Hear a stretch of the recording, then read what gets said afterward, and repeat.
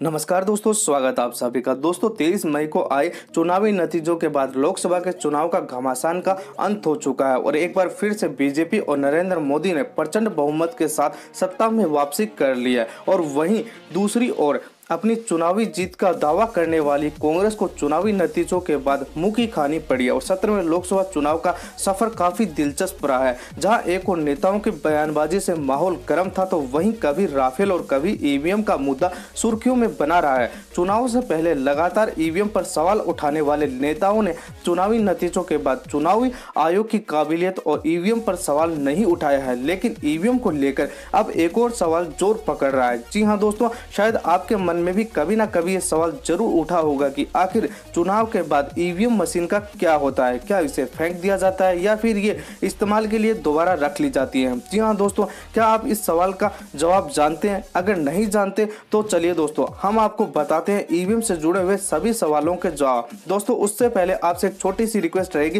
Video पर like कर दें, शेयर कर दें, क्योंकि आपका लाइक और आपका शेयर ही हमारी मेहनत का फल होता है। साथ ही वीडियो के नीचे दिए गए लाल बटन पर जाकर चैनल को सब्सक्राइब कर, बेल आइकन को ऑन कर लीजिए, ताकि आपको ऐसी ही अच्छी अच्छी खबरें मिलती रहें।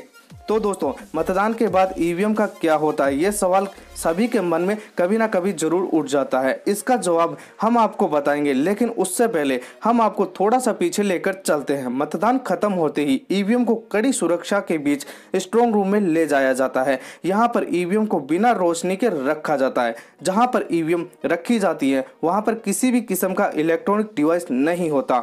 एक बार मतदान की प्रक्रिया पूरी होने के बाद कई कागज़ी प्रक्रियाओं को पूरा किया जाता है। उम्मीदवार को विजेता घोषित करने के बाद ईवीएम को एक बार फिर से स्ट्रॉन्ग रूम में रख दिया जाता है और रूम को बंद कर एक बार फिर से उसे सील कर दिया जाता है। यह प्रक्रिया उम्मीदवारों के प्रतिनिधि की मौजूदगी में की जाती है और इसके बाद उनके हस्ताक्षर भी लिए जाते हैं।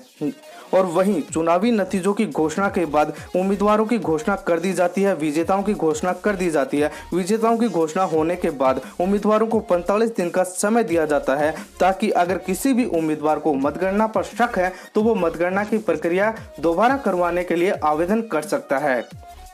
वहीं 45 दिन खत्म होने के बाद ईवीएम को पूरी सुरक्षा के बीच स्ट्रॉन्ग रूम से स्टोरेज रूम ले जाया जाता है। इसके बाद चुनाव आयोग के इंजीनियर ईवीएम की जाँच करते हैं और कई चरणों में इसकी जाँच की जाती है। और दोस्तों 45 दिन तक यदि कोई उम्मीदवार दोबारा मतगणना के लिए आवेदन नहीं करता है तो चुनाव आयोग कोर्ट से लिखित आदेश लेकर ईवीएम में स्टोर डेटा को डिलीट कर देता है और इसकी जाँच की पूरी प्रक्रिया होने के बाद यदि सब कुछ ठीक पाया जाता है तो ईवीएम को दूसरे मतदान के लिए तकनीकी रूप से सक्षम घोषित कर दिया जाता है। इसके बाद ज़रूरत के मुताबिक ईवीएम को मतदान के लिए किसी भी जगह भेज दिया जाता है। इसके साथ ही आपको बता दें दोस्तों कि चुनाव में इस्तेमाल किए जाने वाले कुल ईवीएम का 20 प्रतिशत रिज़र्व के रूप में रखा जाता है, ताकि तकनीकी दिक्कत होने पर एक्स्ट्रा ईवीएम से काम चलाया जा सके। और दोस्तों, इसी बीच अगर कोई ईवीएम खराब हो जाती है तो उसे पूरी सुरक्षा के अंदर नष्ट कर दिया जाता है। दोस्तों, आपको ये जानकारी कैसे लगी, हमें कमेंट करके बताएँ। साथ ही वीडियो पर लाइक करें, शेयर करें